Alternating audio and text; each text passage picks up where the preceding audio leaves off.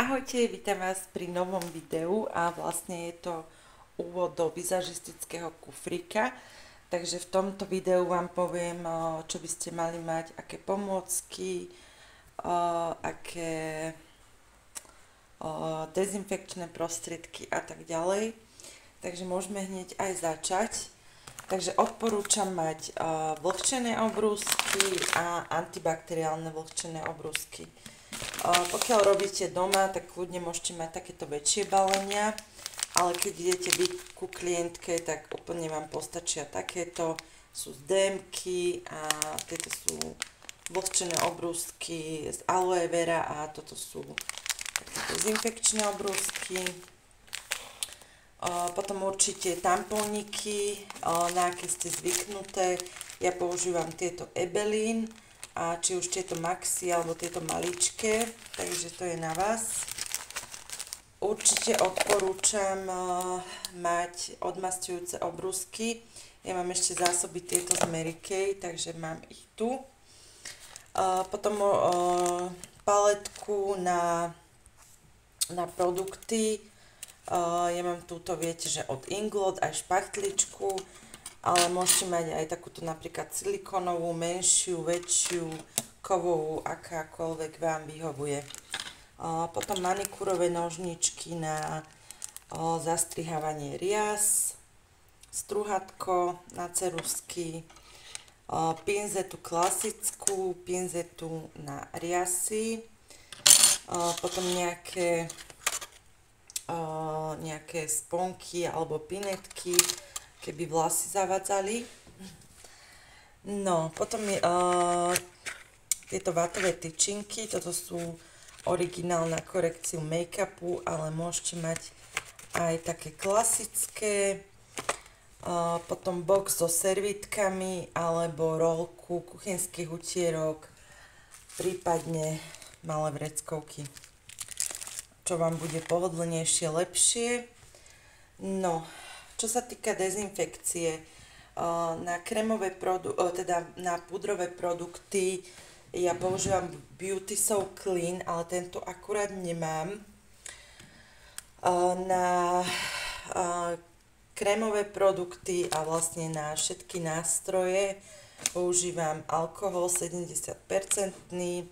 Kúpite aj v lekárni aspoň 60-70% alkohol odporúčam na čistenie.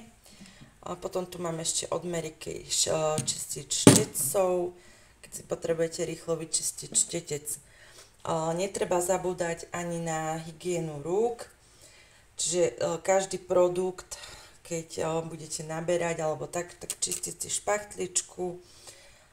Samozrejme, toto nemusíte ťahať takéto veľké, ale ja to mám napríklad preliaté v, také, v takomto menšom rozprašovači, alebo môžete mať ešte v menšom. To je už na vás, čo je vám pohodlnejšie.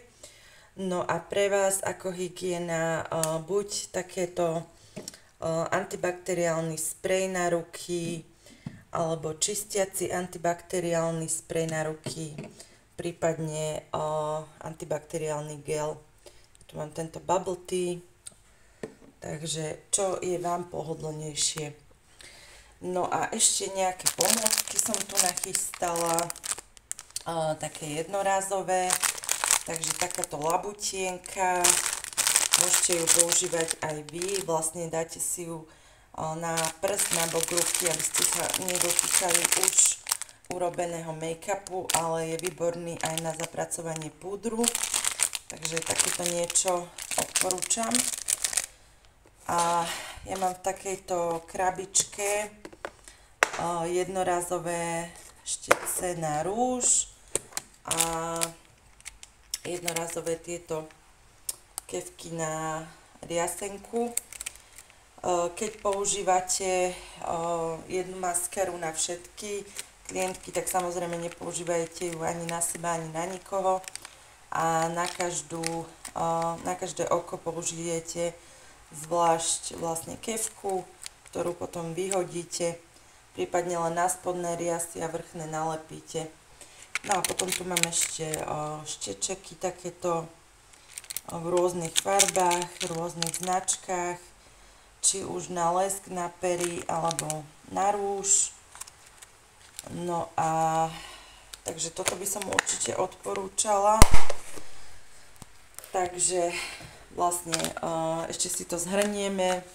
Teda vlhčené obrúsky klasické a antibakteriálne, či už väčšie balenie, menšie, uh, tampóniky, menšie, väčšie, obrúsky pohlcujúce masnotu, alkohol, uh, na pudrové produkty, ten Beauty So Clean odporúčam, čistič štecov, potom dezinfekciu na ruky, paletky, špachtličku, nožnice na riasy, pinzetu klasickú, pinzetu na riasy, struhatko, nejaké sponky, potom teda tie obrúsky, alebo vreckovky, alebo kuchynskú rolku, potom vatové tyčinky, no a jednorázové nejaké hubky, alebo teda labutienky, na púder a jednorázové štečeky na rúže lesky a jednorázové tieto kevky. A bývajú aj takéto jednorázové napríklad štečeky, také maličké na očnú linku, ale osobne som ich teda neskúšala, takže neviem posúdiť, aké sú. Takže toto by bol úvod do vizažistického kufríku. Dúfam, že sa vám páčil. V ďalšom videu by som chcela natočiť skincare vlastne, aké produkty použiť a potom ďalšie a ďalšie videá, aby ste to mali na komplet. Takže ak sa vám videjko páčilo, budem rada za like, odber alebo nejaký komentár. A u nás akurát začalo veľmi pršať, tak vám ešte prajem pekný deň. Čaute.